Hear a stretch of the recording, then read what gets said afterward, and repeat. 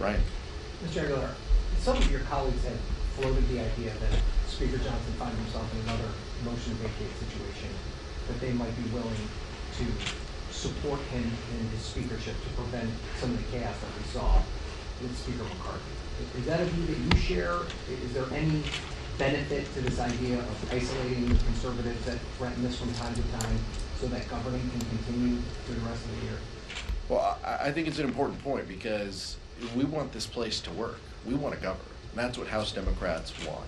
That's what we want out of a speaker, by the way. Uh, and if the prior speaker would have been focused on governing, then we might not be in this position. Um, but we want to see this speaker uh, work uh, to govern. But uh, we have seen, uh, just like last week and uh, on other issues, he chooses to listen to the most extreme voices in his conference. And if you're going to listen to Marjorie Taylor Greene on policy, uh, then we're probably going to have some disagreements. So if he's willing to, to isolate uh, some of the most extreme voices in his conference to work, uh, then uh, I think we can have a somewhat productive year uh, and at least avoid the cliffs that we have and the government funding deadlines. Um, but if he's willing to listen to the most extreme voices in his conference, uh, then uh, then that's another story. The House Democratic Caucus has not had any of these discussions. These are all hypotheticals, you know, at this point. Um, but I do want to reiterate that we want to make this place work. Uh, so to the extent we can find partners uh, that will help do that, uh, and a reminder that the continuing resolution, I assume this week, that we're going to vote on, that will need um, a significant majority of the House Democratic Caucus, we will put up the votes for that, just as we have in the past, uh, to avoid the debt limit, uh, to avoid um, uh, government shutdown. Previously, with continuing resolutions, House Democrats are going to put up the votes to govern. That when when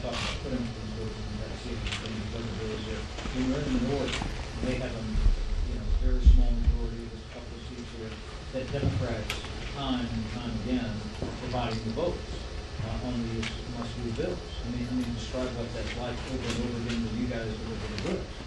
Well, we, we want to we want to govern, and I think that's I, I think that's what we always come back to is we don't we don't mind this. Um, we know that they are a dysfunctional majority. Uh, we know that they do not have uh, actual votes to govern. The only thing that binds them together are some of the issues that you're seeing this week. Um, you know, uh, opposing women's reproductive freedom, opposing abortion care, uh, supporting censures, uh, impeachments. Those are the only things that bind Republicans together. So of course, every week they're going to bring those issues up. It is it is truly the only thing that can get them 218 votes on any given on any given week. Now, when it comes to governing and actually pol- passing policy bills, the House Democratic Caucus, we we came here, we were elected uh, to make our communities better and to advance uh, and to make progress on so many significant issues. So of course we know that that's going to mean you know compromise and discussion, and we don't mind uh, putting up votes uh, to keep government funded and to keep government open. We feel that that's uh, our responsibility, our, our mandate, our charge, and our, our duty. But you hear from some of your members saying, why are we continuing, even though it might be the right thing to do on the government funding, then why do we have to them out? I mean, is there ever any pushback, people saying, let them fund the figures?